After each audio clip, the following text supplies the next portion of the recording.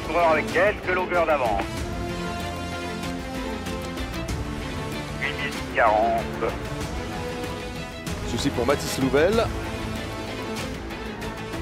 Poste à l'échappée, ouais, Philippe poste à l'échappée. La moyenne pour les hommes de tête, 42 km/h depuis le départ de l'étape. Alors, ils ne sont plus que deux en tête.